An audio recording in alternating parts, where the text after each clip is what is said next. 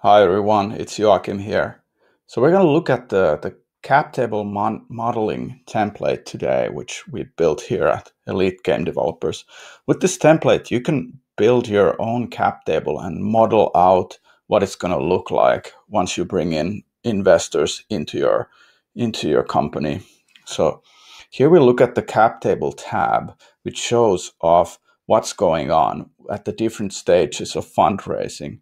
So I've created these yellow uh, cells which you can edit. You shouldn't touch the other ones, but here you can basically manage how many how many shares you have for each of the founders and what does your option pool look like. So if you only have two founders, you can just put A and B founders with the shares. But you also need to think about the the the employee share option pool already a bit before you start raising because you want to have shares for people who join in the company later on.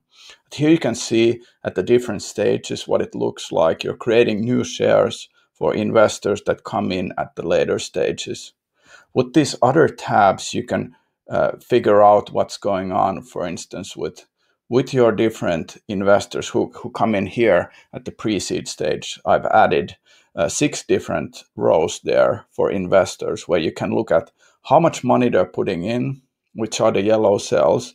And above those, you can see the pre money valuation. What is your company's pre money valuation? So I put 1 million here and you're raising 250,000. So you want to have the numbers below to match. The total should match the amount raised. If you go here and edit these cells, let's say I'll take a bit away from here, you're going to see an error message come up which says that you're actually uh, putting in the wrong numbers. So you need to fix that. The total invested and the amount raised aren't matching. So let's just fix it here. And now, now it's fine. So here you can see that you're creating new shares and new investors will own 20% of the company. So, and it goes on and on. You can build the same thing for the seed round and for a series A round.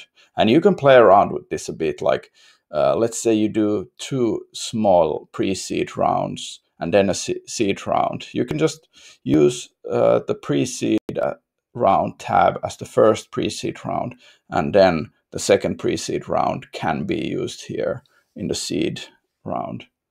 So what I suggest to you is get a copy of this template because you cannot edit this directly. This is our version of the template, which we will be updating time to time, and you'll get notified when new versions come up. So to, to get updated, please sign up to the newsletter